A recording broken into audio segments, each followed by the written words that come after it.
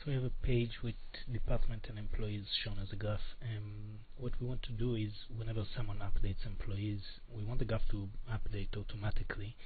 We could use push or ADS to do that. Um, we're going to use an easier way, which is to use a poll component. So here's our page. Um, here's the graph. We're going to take the poll component, just drag it into the same area. Okay. Um, for the poll, the main thing that you set is the interval. Okay, this is in milliseconds, so this is every 5 seconds the poll is going to expire.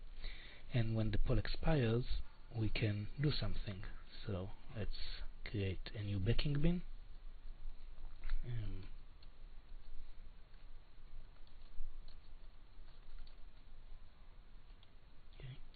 And we'll have a poll expired method. Okay. This should be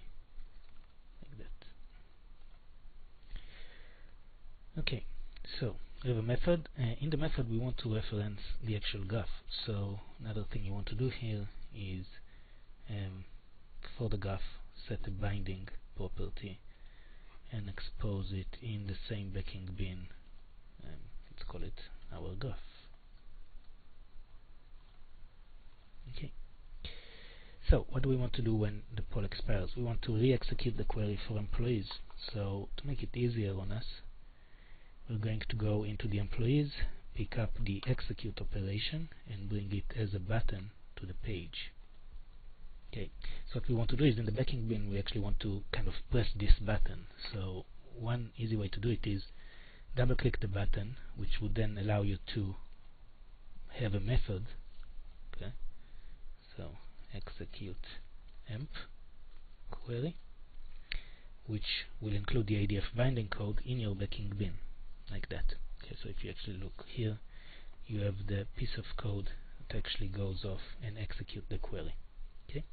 So we actually want to just replicate this in the poll expiration right? So we're going to go over here and we're simply going to have it's a string based method. So we're just going to do execute emp query.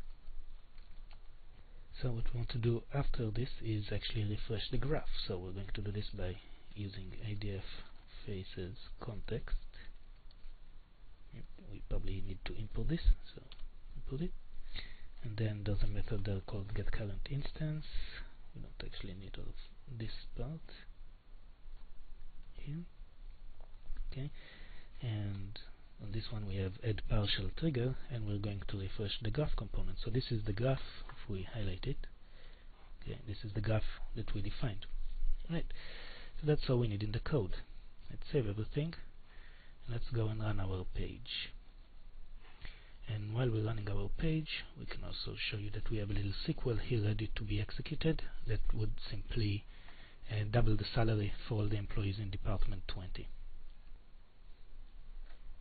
So here's our little graph. Let's look at Department 20. Okay, so right now it's around uh, 13k. We can open JDeveloper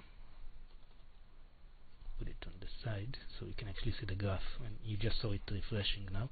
Let's run the command okay? And you can see it's now at 25 let's divide it by half okay? Are you ready we'll wait for the graph to refresh and then run it. And then you see it's back to 13 one thing to note is that the only part of the page that refreshes is the graph and not this part of the page. So you can actually do this. And this is the refresh here, but this one would be refreshed with the timer. Um, another thing you can do is you can actually stop the timer when you want to uh, via code. That's it.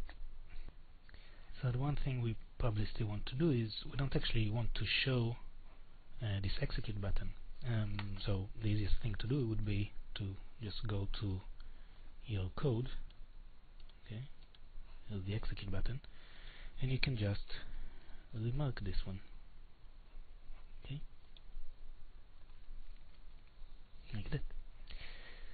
So now if you actually save this and go back into the browser reload the page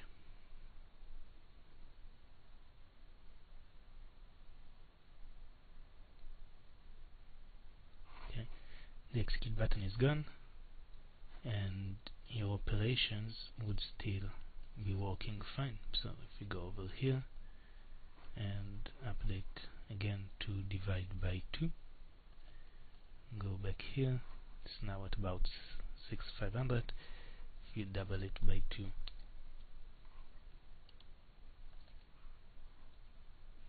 to double